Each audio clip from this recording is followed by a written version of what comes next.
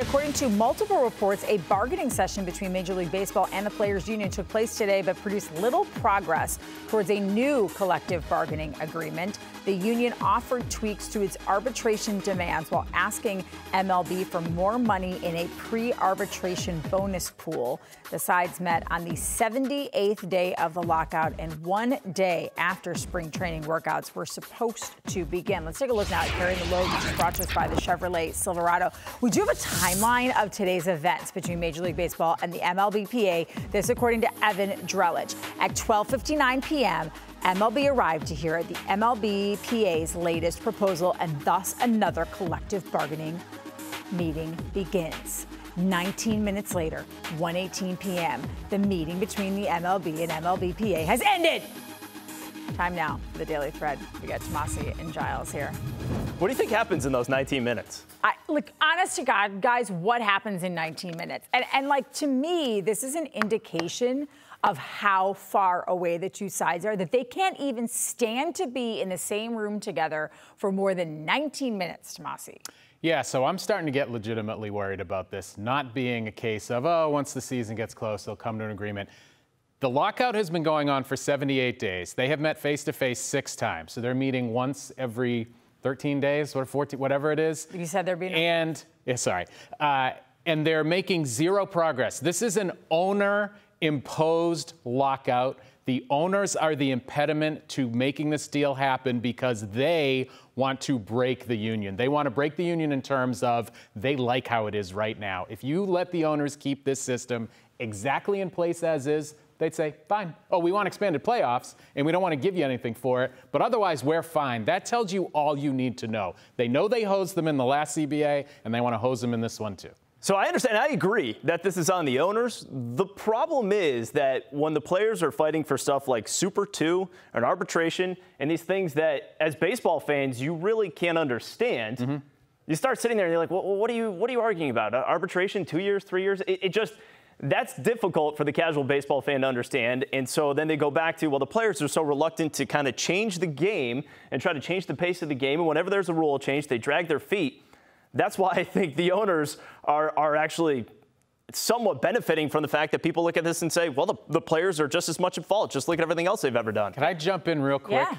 So I, I, blame the owners, you by the way. You talk about pace of play. You talk about things fans care about. These are things that we all care about. It's like, can you speed up the game? Can you get rid of shifts? Can you eliminate three true outcomes? Can we not have to ever watch an opener again? All of those things we care about. None of that is on the table. None of that is being right. discussed. None of that has anything to do I understand with this. But but the problem is that I don't think many baseball fans understand the Super 2 and the arbitration yeah, but you know what the players bonus money and everything for? else. Players are fighting for the younger players to get paid. It's kind of an anti-union thing. Usually the unions are all about we want the guys at the top making the absolute most and then let it filter down. It's their version of trickle down economics. They're starting at the bottom and saying we want the underpaid guys and to I'll, be paid. And I'll be honest, for a long time I've always sort of almost evenly blamed both sides with slightly more, uh, you know, uh, blame on the owners. And then I started, my, I mean, it shifted for me almost completely to the owners when I actually read some of what the players want that in a way would make the game better listen, minimum salary, I'm not even going to say on here what they want because if you're sitting at home and you've been like out of work for a long time or something, or you're working a job where you're like clamoring for $15 an hour, you're going to be like, oh, cry me a river that you get 550 and now you want 775 as your minimum.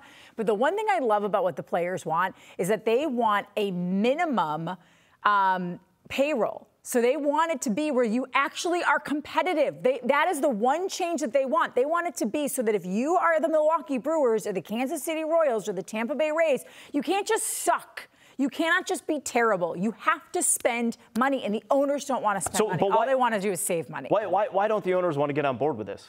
Uh, the salary floor, they're a little bit more on board with because you have big owners like John Henry who constantly hate the fact that they have to subsidize these teams when they know that the teams are really valuable, like the Pirates and these teams that won't spend.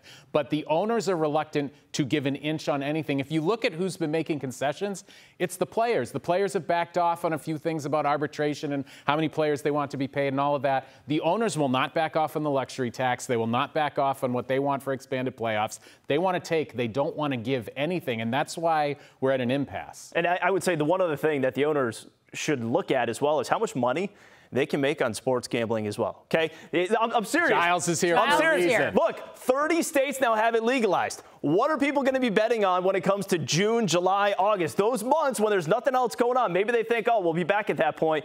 You need look. There's an opportunity now. People are going to be invested in these games. They're going to be interested from April, from the jump. If you just go ahead and play baseball, there's going to be money there to be made. I would also say that unlike the NFL, the, the eh, MLB union is strong because you don't have, even though your lowest level players don't make as much as your top level players, everybody makes a lot so they can sit timeout.